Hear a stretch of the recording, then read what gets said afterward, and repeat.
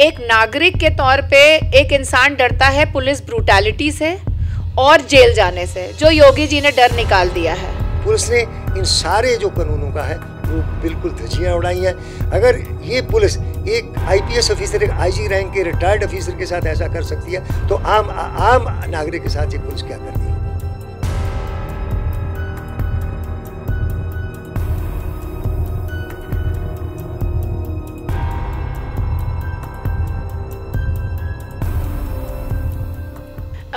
हमको जब अरेस्ट किया गया, उसके बाद हम कह रहे थे कि हम कोऑपरेट कर तो रहे हैं, आपके साथ अब हमें ड्रैग करके सड़क के किनारे ले जाया जा रहा था, और तभी से मेरे पैरों पे बेटन से मारना शुरू कर दिया था। और उसके बाद जब हमें किनारे लेके गए तो वहाँ पे उन्होंने एक घेरे में हमें ले लिया, और घेरे में लेके पीटना शुरू किया। मुझे पहले थप्पड़ मारा तो मैं चश्मा दूर गिर गया, उसके बाद मेरे पीठ पे बेटन से मारना शुरू किया, मैंने हाथ अपना नीचे दबा लिया था और हमारे साथी जो थे, उनको बहुत बुरी तरह से मारा। और मैंने उनके सर पे हेलमेट टूटते हुए देखा है, जिस तरह से खींच के मारा गया और लोगों के सर खुलते हुए देखे हैं कि किस तरह से बेटन से सर फाड़े जा रहे थे उस वक़्त। उसके बाद हमें एक पुलिस जीप में डाल के बिना किसी महिला पुलिसकर्मी के महिला थाने लाया गया। और मेरे साथियों के साथ से मुझे सेग्रीगेट कर दिया गया मुझे महिला थाने में बिठा लिया गया और उनको जो है वो जहाँ पुरुष डिटेन किए जा रहे थे वहाँ रखा गया और वहाँ से उनके चीखने की चिल्लाने की गालियों की आवाज़ें आ रही थी और पिटाई की। आ, उसके बाद जो है वो आ, महिला पुलिसकर्मी जैसे जैसे आती गई उन्होंने मुझे मारा। आ, एक थी उन्होंने नाखूनों से मेरे चेहरे को नोचा मेरे बालों को नोचा और वो तमाचे मारते रहे। मुझे पता चला कि ये मेरी जो गिरफ़्तारी है, वो शाम को सात बजे थाना हजरतगंज से किसी पार्क से जो है, वो दिखाई गई है। जबकि मेरी गिरफ़्तारी यहाँ घर घर पे हुई है और वो फेसबुक पे रिकॉर्ड है पुलिस का फ़ोटोग्राफ है मुझे ले जाते हुए। तो ये मेरी जो गिरफ़्तारी दिखाई है, वो गलत दिखाई है, वो इलीगल गिरफ़्तारी है, मेरी है। जबकि मैं घर पर मौजूद हूँ, मैंने कोई अपराध नहीं किया, फिर भी पुलिस मुझे यहाँ से उठा के ले जाती है, पहले उठा लेती है और फिर जो है, बाद में मेरी गिरफ़्तारी दिखाती है। इतना इतना ही नहीं वहाँ पर मेरा एक सौ इकसठ का कोई बयान नहीं लिया जाता। मैं एक आईपीएस ऑफिसर हूँ, मैं सारी प्रक्रिया जानता हूँ, मैं समझता हूँ, परंतु वो प्रक्रिया भी मेरे साथ नहीं अपनाई गई, मेरा बयान नहीं लिया गया। फिर वहाँ पर थाने पर क्या होता है कि मुझे बिठा दिया जाता है और मेरे पास कपड़े नहीं है, मैं खाली ये पहना हूँ, कोई इनर नहीं है, कुछ नहीं है, सर्दी है। मैं उनको कहता हूँ कि मुझे ठंड लग रही है, आप मुझे कंबल दीजिए। उन्होंने कहा कि आपको कंबल नहीं दिया जाएगा। अच्छा फिर वो वहाँ पर बिठाई रखा। फिर शाम को फिर देर से देर से जो है मुझे वो किया गया कि आप यहाँ से हजरतगंज थाने से ला के जो है मुझे वहाँ पेश किया गया। ये सी जी एम के सामने जेल पे। जेल पे पेश किया लगभग सात बजे के करीब।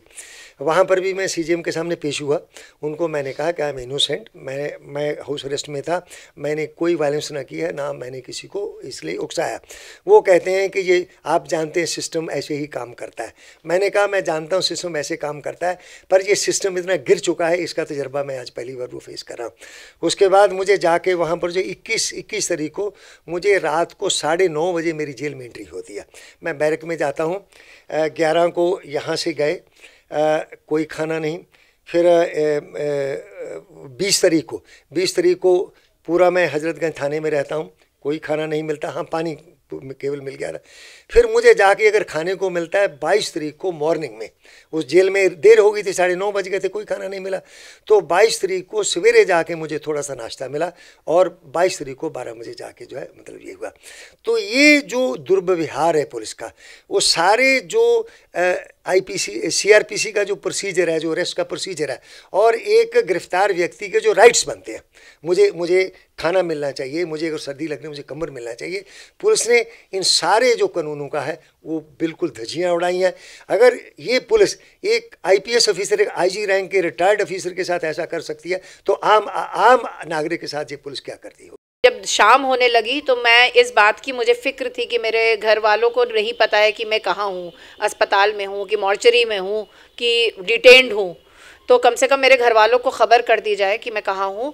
तो आ, मैं लगातार कहती रही कि मेरा अधिकार है कि मेरे परिवार को बताया जाए कि मैं कहाँ हूँ लेकिन उन्होंने आ, नहीं बताया।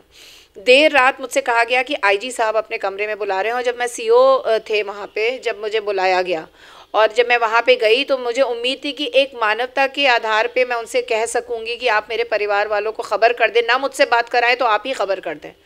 तो आ, मैं ये कहती उससे पहले जैसे ही मैंने दहलीज से अंदर गई उन्होंने फ़ौर बहुत ही भद्दी गालियाँ मुझे दी मेरी क्वालिफ़िकेशन पूछी कि तुम कितना जानती हो सीए के बारे में और क्या तुम्हारी क्वालिफ़िकेशन है। और उनमें से एक ने उनके जूनियर थे वो आ, किसी ने भी बैज नहीं लगाया था तो मैं नहीं कह सकती कि किस कौन थे वो किस पोजीशन पे हैं वो? और उन्होंने जो है वो कहा कि अच्छा तुम बहुत बोल रही थी वहाँ पर तो तुम्हारे ऊपर 307 लगाकर जेल में सड़ाऊँगा। ये उनकी भाषा थी और उसके बाद उन्होंने महिला पुलिसकर्मी से कहा कि इसको मारो। तो आ, महिला पुलिसकर्मी ने मुझे फिर वहाँ पे दो थप्पड़ मारे। उसके बाद भी वो सेटिस्फाइड नहीं थे उस मारने से वो खुद उठकर आए। जो जूनियर थे उनसे। और वो खुद उठकर आए और उन्होंने मेरे बाल नोचे, मेरे पेट पे लात मारी और मेरे घुटने पे कस के लात मारी। देखिए, ऐसा है। दो चीज़ें हैं जो मुझे लगती हैं जिस कारण मुझे टारगेट किया गया। एक तो यहाँ पर जो फेक इनकाउंटर हुए हैं। मैंने उनके बारे में पूरे उत्तर प्रदेश के ज़िलों से आरटीआई में एक साल की सूचना मांग रखी है। वो सूचना मेरे पास प्राप्त है। उसमें साफ़ दिखाई दे रहा है कि ये पकड़ पकड़ के मारे गए फर्जी इनकाउंटर है। और पीयूसीएल की, का मैं वाइस प्रेसिडेंट हूँ। पीयूसीएल ने सुप्रीम कोर्ट में एक पीआईएल दायर कर रखी है इन इनकाउंटर्स के लिए और जिसमें स्टेट गवर्नमेंट को वो ये करना है। एक तो ये कारण हो सकता है। दूसरा कारण ये है कि मैं सोशल एक्टिविस्ट के साथ साथ मैं पोलिटिकल एक्टिविस्ट भी हूँ, मैं पॉलिटिक्स में हूँ। हमारी party all India people's front है, मैं उसका नेशनल स्पोक्समैन हूँ। तो सरकार की आलोचनाओं को लेकर जितने प्रेस नोट है, वो मेरे सिग्नेचर से जारी होते हैं। और इसका ये जो सी कानून जो है, इसका विरोध भी जो है, मेरे सिग्नेचर से जारी हुआ है। तो इसीलिए मुझे टारगेट किया गया है। मैं पुलिस के गलत कामों की आलोचना करता हूँ और और जो सीए का उसका विरोध जो है, मैं लिखित में करता हूँ, हमारी पार्टी उसका विरोध करती है। देखिए मैंने आ, सुना था कि पुलिस को किस तरह से लगातार एक कम्युनल जामा पहनाया जा रहा है आ, लेकिन पहली बार मुझ मैंने खुद ये फ़र्स्ट हैंड एक्सपीरियंस किया है। मैं जब जेल में थी तो मैंने देखा कि आ, किसी शहर के एसपी ने आ, पाकिस्तान जाने की जो है वो राय दी है कुछ लोगों को। तो उस पर उनकी सफ़ाई भी आई कि वो पाकिस्तान के नारे लगा रहे थे पक्ष में। लेकिन मैं तो नारे नहीं लगा रही थी। मैं तो मेरा तो वीडियो लाइव कर रही थी मैं और आप, मैं आप, मेरा वीडियोस गवाही देते हैं कि मैं किस तरह से पुलिस से कह रही थी कि तुम निष्क्रिय क्यों हो और तुम एक्शन क्यों नहीं ले रहे हो। तो ऐसी सिचुएशन में जब मुझे कहा गया, एक पर्ची दिखाई गई जिसपे दूर से हाथ में नहीं दी गई और उस पर मार के हाथ कहा गया कि देखो पचानवे परसेंट तुम लोग हो। तो ये जो लगातार जो है मोदी जी के भारत में तो तुम लोग करके एक पर्टिकुलर कम्युनिटी को जो है वो इल्ज़ाम लगाया जा रहा है या चिन्हित किया जा रहा है।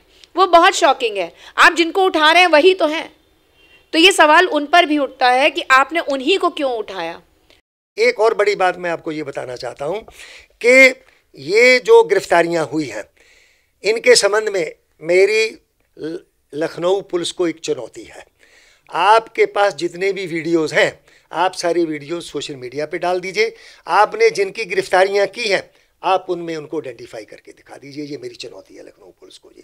जब मुझे डिटेन करके थाने में रखा गया तो मुझे खाना और पानी दोनों नहीं दिया गया। मेरा जो पानी था, वो एक मीडिया कर्मी को वहीं प्रदर्शन स्थल पे चोट लगी थी। वहाँ ज़्यादातर पानी मैंने उनको फ़र्स्ट एड देने में खर्च कर दिया था। मेरे पास बहुत कम पानी था। वो बोतल भी जो है, वो जब मैं अस्पताल गई तो वहाँ पर भी वो पहले तो उन्होंने मुझे कोई खाना पानी नहीं दिया। उसके बाद जब बहुत रात को करीब दो बजे के आसपास जब मेरी तबीयत बहुत ज़्यादा ख़राब होने लगी और मैंने कहा, मेरा बीपी भाग रहा है। तब मुझे जो है वो लेकर गए सिविल अस्पताल। वहाँ पे मेरा बीपी 160 बाय 100 था। मुझे तीन इंजेक्शंस दिए गए और मैं वहाँ पे लगातार जब मेरी मेडिकल बनने लगा, जाँच होने लगी तो मैंने उनसे कहा, मेरे बदन पे नील है और अगर कोई महिला हो या नर्स हो तो मैं दिखा भी सकती हूँ कि मुझे कहाँ मारा है। तो उन्होंने कहा, उन्होंने बिल्कुल उसको किनारे कर दिया।